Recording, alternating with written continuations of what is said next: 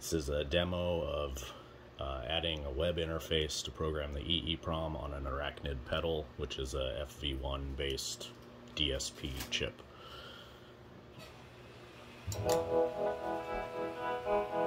Right now there's a harmonic tremolo.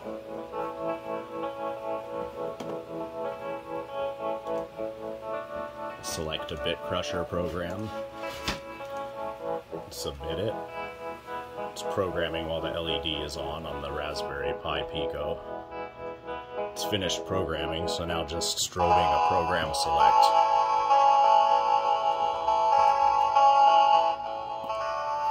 Will take effect. If I want to go back to the previous program, I can just upload it. Programming. It's done back to where we started with the harmonic tremolo.